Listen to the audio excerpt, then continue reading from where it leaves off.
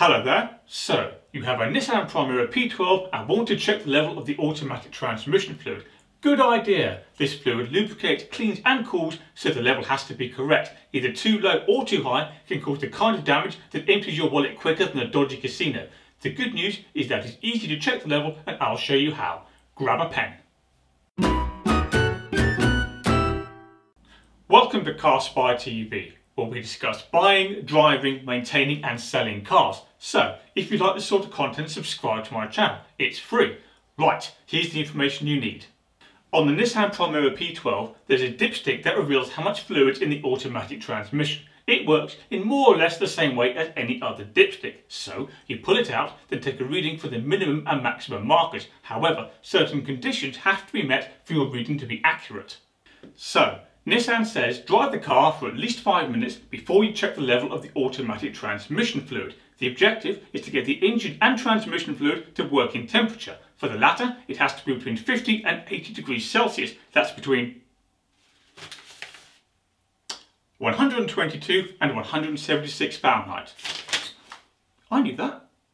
Now, Park the car on a flat surface as uneven ground can distort the reading and obviously make sure the parking brake is on too. However, don't turn the engine off, leave it running while you take the reading.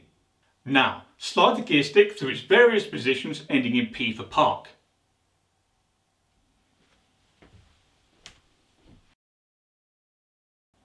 Next, find the dipstick in the engine bay Note that an automatic Nissan Primera P12 has either continuously variable automatic transmission or standard automatic transmission. Mine has the former and the dipstick is down there. Here's a close-up picture. However, if your car has standard automatic transmission, the dipstick's handle and the nearby locking clip look a bit different. Either way, remove the dipstick. To do so on a car like mine, bend the locking clip down, then pull the handle. Now clean the dipstick to remove any fluid that might provide a false reading. If you're like me, this is the point the fluid magically transfers to your hand, clothes and anything else in close proximity, however careful you are to prevent it. So, once you're dirty enough, replace the dipstick.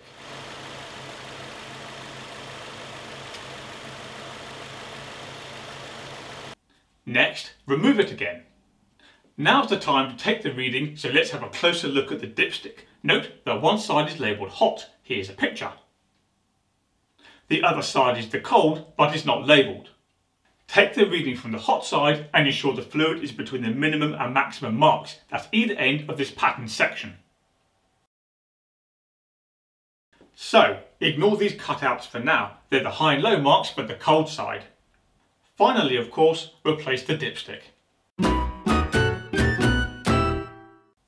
Okay, we have a couple of final points to consider. Nissan says to check the automatic transmission fluid level on the cold side of the dipstick if the engine's been warmed up but the car hasn't been driven recently. However, it adds that we should recheck by the hot side later on. So, my personal preference is to only take a reading once the hot side conditions have been met. Furthermore, Nissan says if you want an accurate reading, wait half an hour for the fluid to cool down if the transmission's been working particularly hard. For example, if the car's been driven at high speed for a long time, if it's been in city traffic in hot weather, and or if it's been towing a caravan or trailer. And that's it, job done. We've successfully checked the automatic transmission fluid level on a Nissan Primera P12. Before you go, do me a favour and click like on this video, that helps me out, and leave a comment. Also, check out the Nissan Primera Owners Club, which is a fantastic resource. Find it at Right, that's all for now. Just one quick question. How do I get transmission fluid out of a shirt?